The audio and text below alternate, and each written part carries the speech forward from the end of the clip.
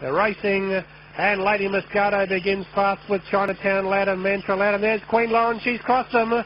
The first turn, Queen Lauryn by two. Mantra Lad's in hot pursuit up to second, followed by Lady Moscato, 40-20 into the picture. Then came Sheesa Pensky, Headley Bale. Chinatown Lad's got work to do. He's second last, and Irish Fantasy the last one. Queen Lauryn out to the back by two lengths on Mantra Lad. Six lengths away came Lady Moscato, followed then by Sheesa Pensky. 40-20 going nowhere at the moment, being passed by Headley Bale. It's still Queen Lauryn. Two and a half to Mantra Lad. Five lengths away, Lady Moscato. Round the turn, Queen Lauryn's in front. Mantra Lad going to the inside. Queen Lauryn's just in front of Mantra Lad. Queen Lauryn, we salute you, Your Majesty. Queen Lauryn.